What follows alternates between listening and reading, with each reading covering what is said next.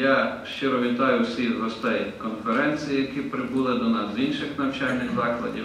Велика делегація Національного педагогічного університету з міста Мелітополя прибула. Також є представники різних навчальних закладів міста Львова.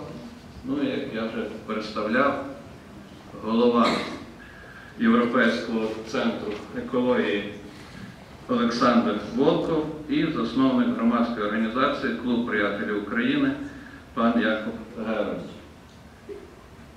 Бажаю всім учасникам конференції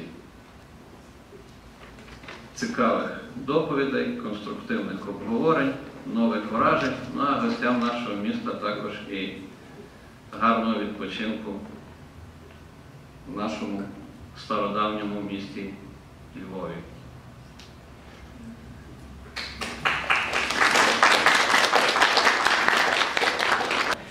Вирішили е, заснувати е, організацію, яка буде спрямована на розвиток наших взаємних е, відносин.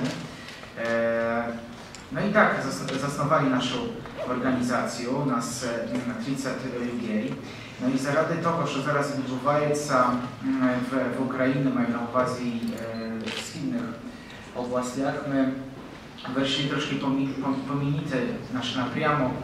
займатися гуманітарною допомогою, тому що зараз е, є багато переселенців ze східних, е, ze східних областей, які, які розповсюджені по території цілої України.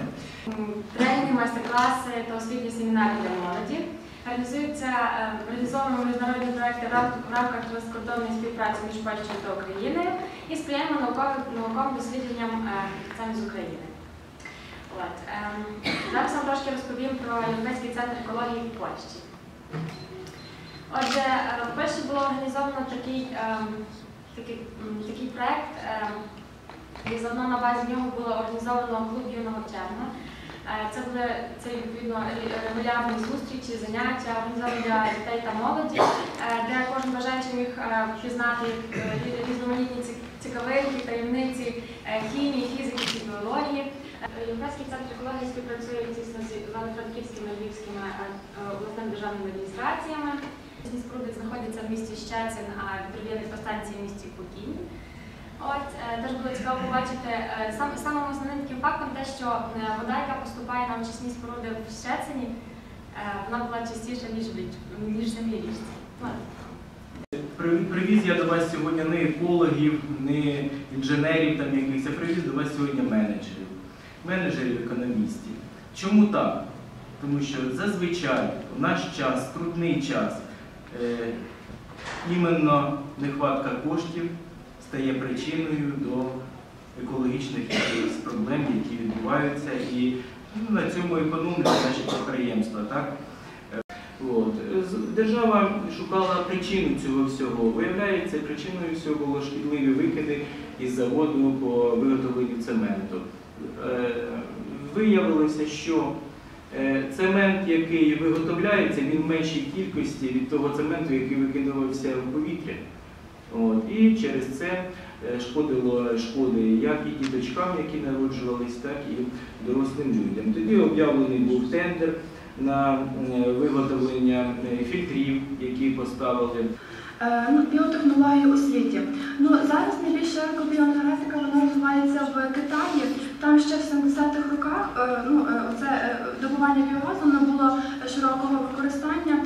До 90-х років у Китаї налічувалось приблизно е, 7,6 мільйонів біогазових установок. От варто зазначити, що е, річний е, виробіток біогазу в Китаї він становить близько 720 мільйонів метрів кубічних біогазу, що е, пропорційно 3 мільйонам тоннам видобутку вугілля. Тема є дуже актуальною для України в цілому, так конкретно для міста Львова. Оскільки кожен з нас з нею стикається майже щодня, проходячи центральною частиною міста і відчуваючи досить неприємний запах. Він є спровокований недостатньо ефективною е, роботою очисних споруд, точніше, е, е, мул, який виділяється внаслідок очищення води, його просто складують на молодих полях, які на даний час є переповнені. І через те ми отримуємо такий запах. Як цього можна позбутися? Як мул переводити не тільки як просто відходи, а використовувати як сировину? Розповім на яскравішому, на найяскравішому прикладі для мене е, на очищальні, яка знаходиться в місті Щецин.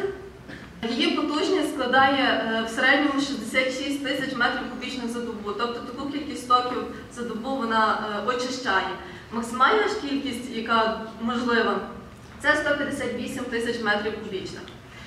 Концентрація забруднюючих речовин, як ви бачите, досить висока, і як вона змінюється після очистки, також е, в ході презентації буде показано. Е, У водозборі лівобережного Щецина домінують побутово господарські стоки з високою часткою дощових і талих вод.